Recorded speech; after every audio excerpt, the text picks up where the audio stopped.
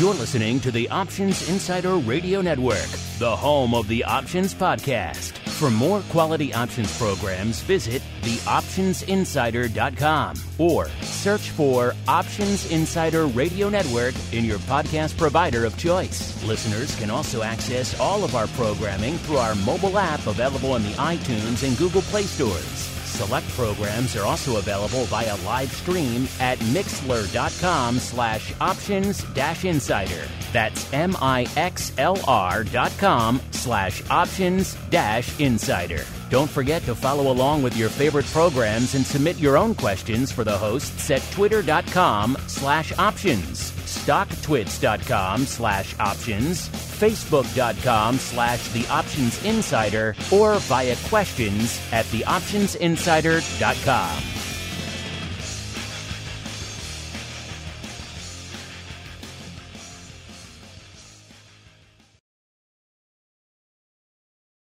Welcome to the Options Playbook, the program where we break down cutting edge option strategies and explain how you can incorporate them into your own portfolio. Whether you're looking to grow your capital with some offensive maneuvers or protect your investments with defensive plays, you can find them all in the Options Playbook.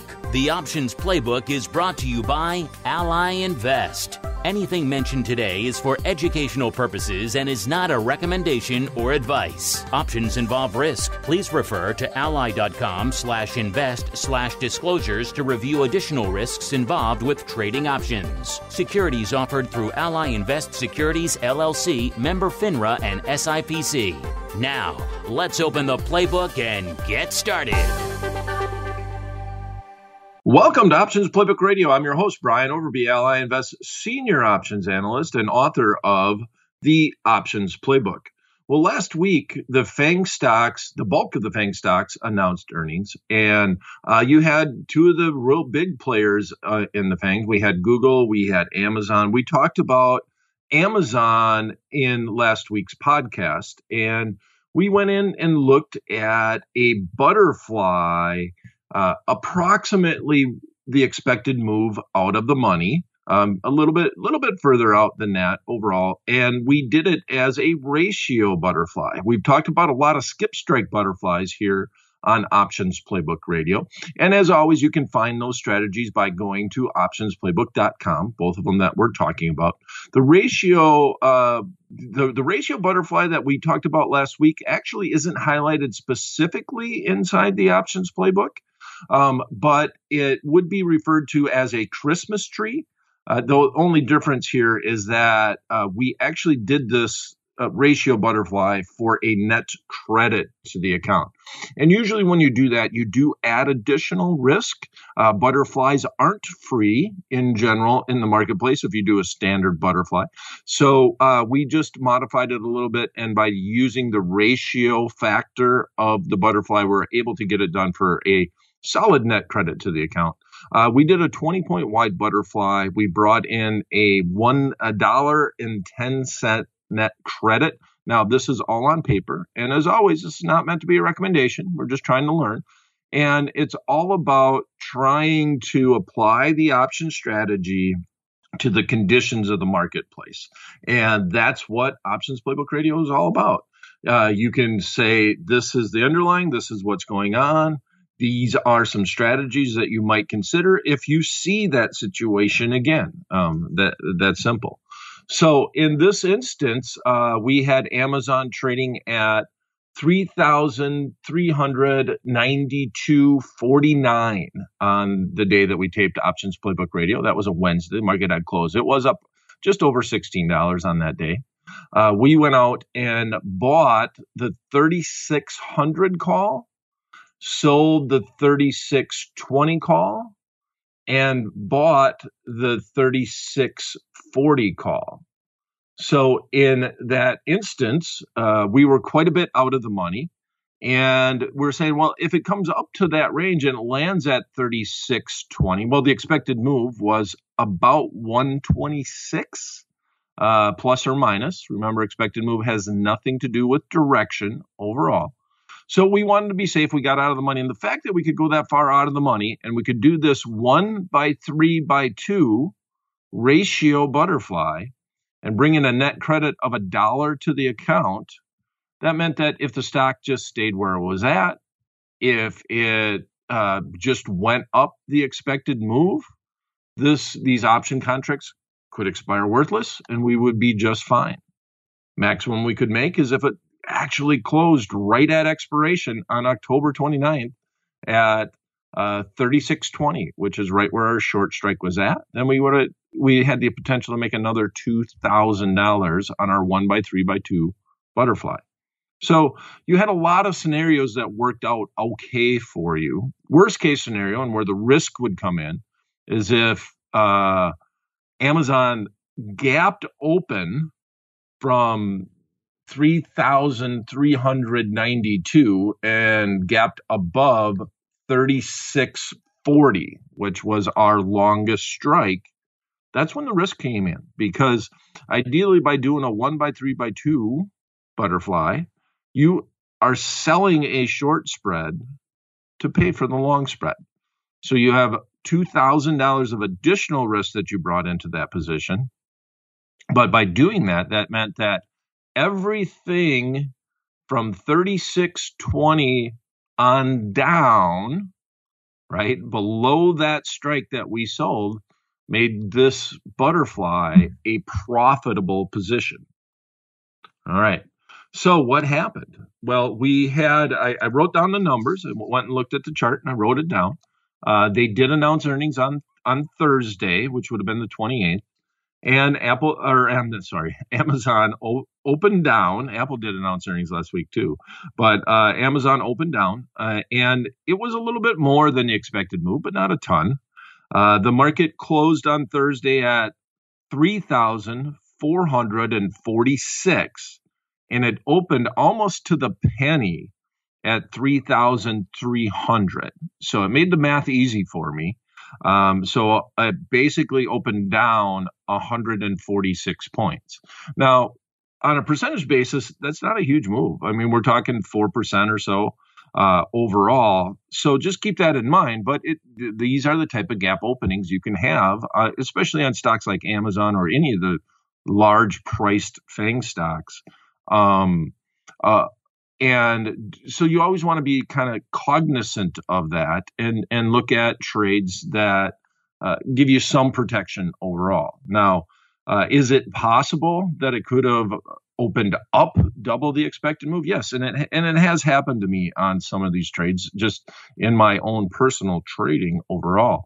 But one of the things that you want to do is if you, you just don't want to be asleep on the one day uh, that these options have to live. You want to uh, be in your account. You want to trade it. If the market really did open and skyrocketed through all of our strikes on the upside, we just want to close the trade. We want to, you know, take our comeuppance and, and just move on overall.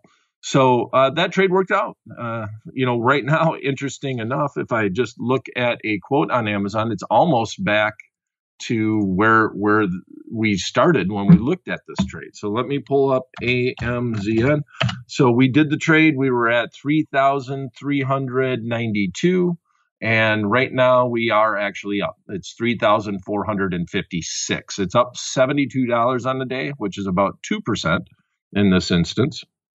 So, with that said, the market came back. Now, if we had actually did the butterfly and gave ourselves another week, which that's ideally we we really don't we wouldn't have wanted to do that overall. I mean, one of the big benefits of Amazon is that they always seem to announce on a Thursday, and the options have one day to live. So, uh, the you have all this premium in these option contracts and it's got to be gone by the next day because you have a high price stock you have a volatile situation that is known as earnings and that adds to premiums and by friday the next day they have all that premium has to come out so uh, just interesting enough uh, so with that said, it's al- already back up. It's already above where it was before it announced earnings. So it just turns out that in hindsight, that was just a buying opportunity as far as Amazon was concerned.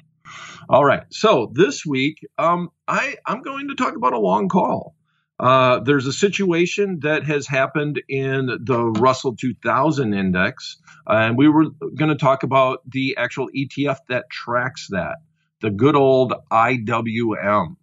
So if you look at the IWM and you are a chartist, and and once again, I'm going to emphasize that this is not meant to be a recommendation overall, but there was a very clear, defined pattern that I'm sure you're going to see in uh, if you look on the TV and you watch some of the financial news. There's going to be people that will be talking about this overall, just because it's been setting itself up for such a long time. Uh, basically, the Russell 2000 index had well, let's say IWM, which is the the the very liquid ETF that trades around it. Uh, going all the way back, I guess the channel would have started uh, in January, at the beginning of January, first half of January. All of a sudden, we kind of broke out into a channel, and it's been trading in a 25 point range uh, from from that day uh, all the way up until now. We finally had a, a, a solid breakout uh, just the other day. As a matter of fact, we talked about this in detail. Now, this breakout was just it, it's so obvious that obviously this is a podcast. I can't show it to you, but if you just take the time to look at a six month chart, you you would see it very easily uh, if you've ever looked at a chart before. Um, but uh, we talked about this on the stock play of the day on the Ally YouTube channel. Very simple. Google Ally YouTube channel. And in our stock play of the day, we talked about the potential for the breakout and uh, and the fact that, that that makes you a little nervous because it hadn't broken out at that point in time. And you are always, every time it comes up and touches that level, eventually you're hoping that it will, will do what you want the stock to do if you're a bull. And so we're going to say, well, the breakout happened. So let's talk about how might we play the IWM after the, it broke out from a six month, 25 point wide channel.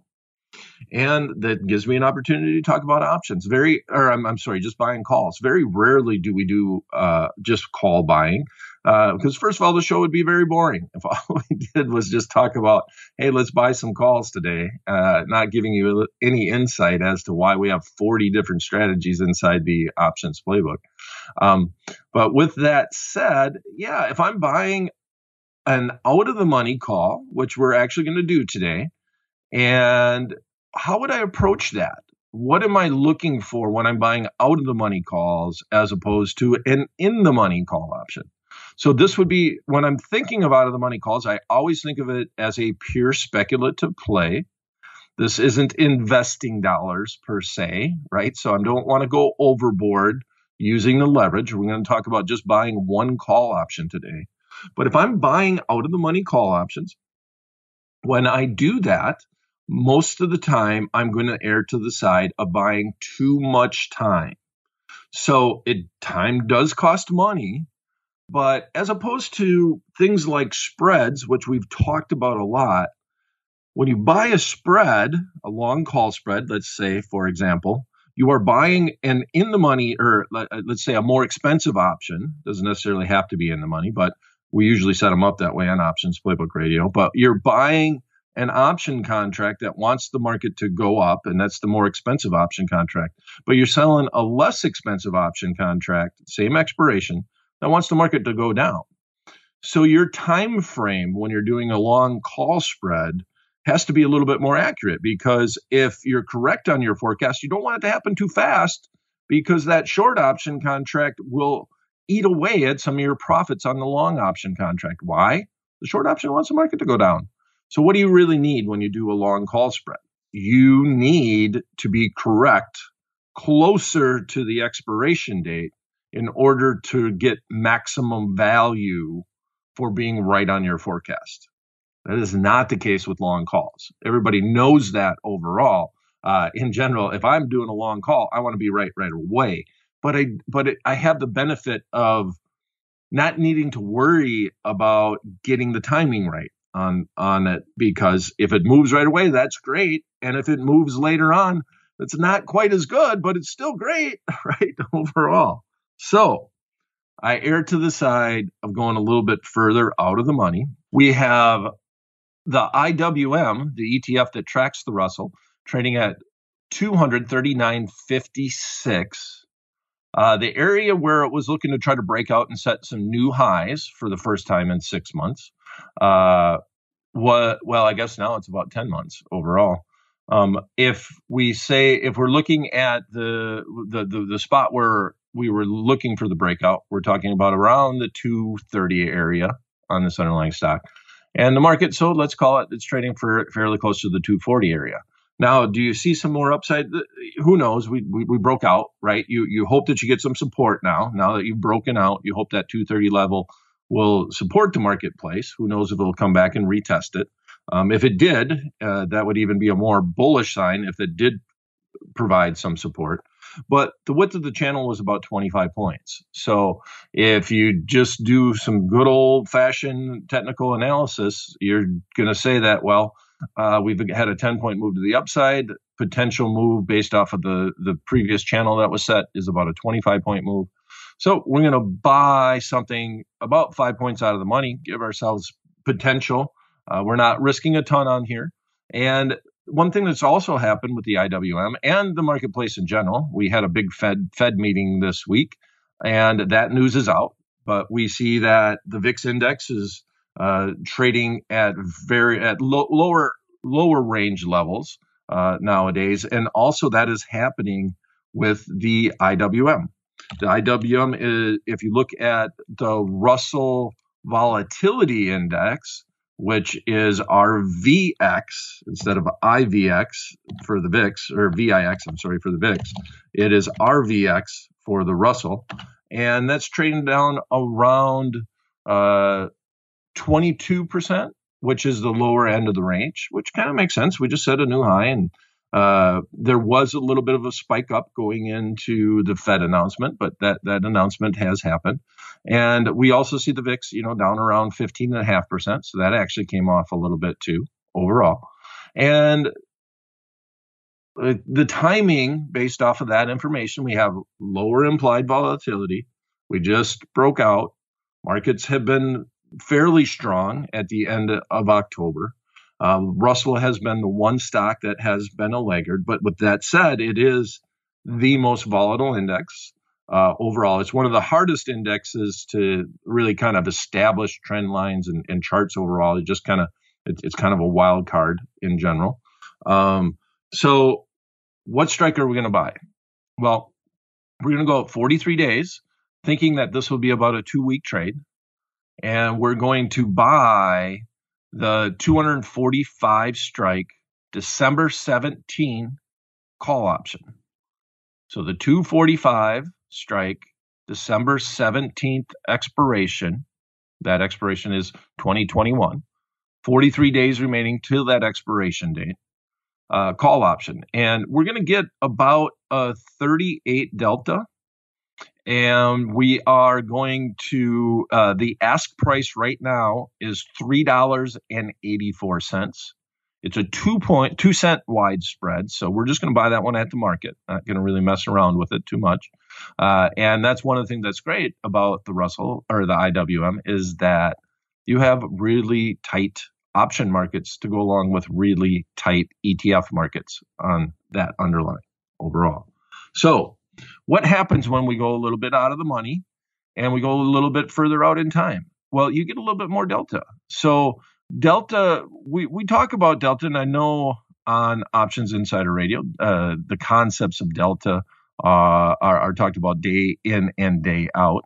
We have a great section inside the options playbook, just a, a one page, very simple, straightforward read that covers all the Greeks but focuses on delta. But now, with delta, if you're out of the money, you, you, think about delta as being the probability of the option finishing, and I'm going to say one cent in the money. It's not the probability of making money, but the probability of the option finishing one cent in the money gives you a hint as to where the delta should be. And in this instance, if you give your if you're out of the money and you go out further in time, you get more delta. Why? Because you give it more time for the stock to get to that level and we're out of the money right now. So you know, we're hoping we're we're hoping that we can get up to our strike price. So as I go shorter in time, and we go to the 240 strike, and we go down to like a seven day option contract or or or 10 day option contract, delta is going to get a lot smaller. And that's just because the probability of it finishing in the money with only 10 days remaining versus 43 is a lot lower. So we go up further in time.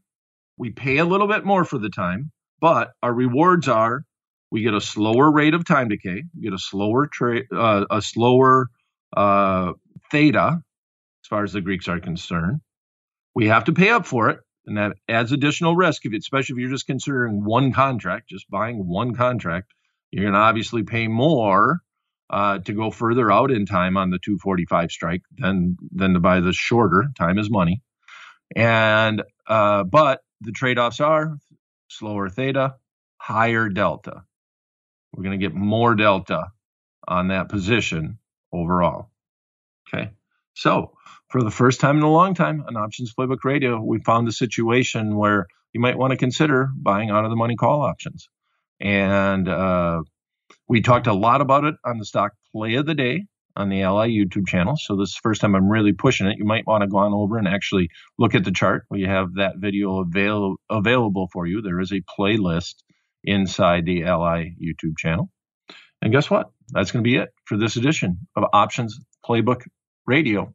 If you have a topic you'd like us to discuss on the show or a question you'd like us to answer on the program, you send them directly to me at the options guy at invest.ally.com.